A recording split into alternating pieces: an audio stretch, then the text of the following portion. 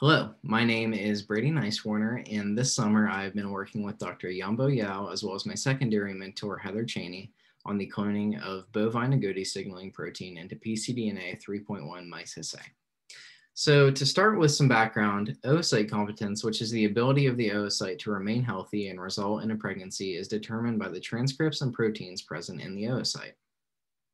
Supplementation of such proteins into media during bovine in vitro fertilization, or IVF, has been shown to increase embryonic development into the blastocyst stage. The agouti signaling protein, or ASIP for short, is expressed in the bovine ovary, oocyte, and early embryo.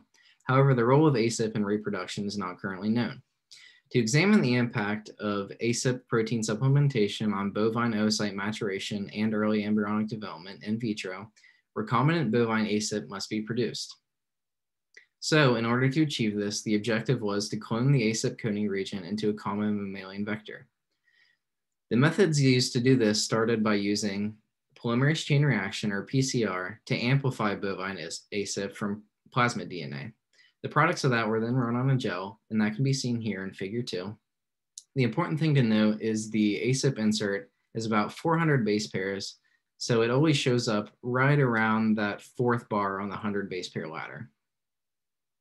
From that point, the PCR product and the pcDNA 3.1 mice his backbone were prepared for double digestion using restriction enzymes.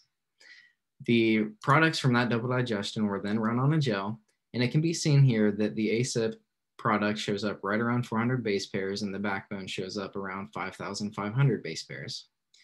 The products were then excised from the gel and placed into a ligation together. From that point, ASIP was ligated into the backbone, and that can be illustrated here by figure one. Um, this really helps with kind of visualizing what's going on. You can see that the ASIP insert is being kind of stitched into place here at the BAMH1 and XHO1 sites of the plasmid. The other important thing to note here is the ampicillin uh, resistance gene here. So in theory, any bacteria that should be transformed with this plasmid should be able to survive in a plate that has ampicillin in it. Uh, so from that point, the ligation and E. coli cells were then plated on an LB agar plate containing ampicillin. Then from that first plate, the 15, 15 individual bacterial colonies were restricted and used for colony PCR, PCR to identify positive clones. That PCR is shown here, and colony six showed the most apparent expression of ASIP, so it was selected for further work.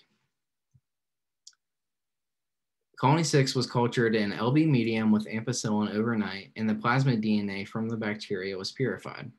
Double digestion and PCR were used to confirm proper integration of the bovine ASIP insert into the vector as well as the bacteria. That double digestion can be shown here, and you can see that up from the plasmid DNA from the bacteria, the backbone shows up on the gel as well as an insert at about 400 base pairs. So in theory, ASIP should be properly integrated into the plasmid DNA.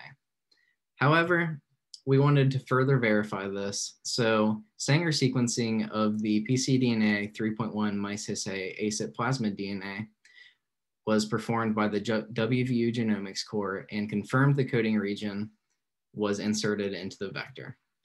The data sent back from the Genomics Core can be seen here, and we compared it to the known sequence of ASIP, and there was a 100% match. So that kind of proves that the bovine ASIP coding region has been successfully incorporated into the vector and replicated by bacterial cells to produce large quantities of purified DNA.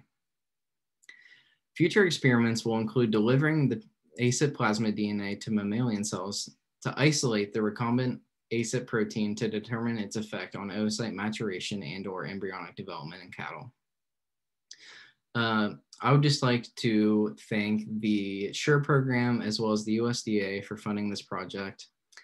And I would also like to thank the WVU Genomics Core for its contributions to this pro project as well.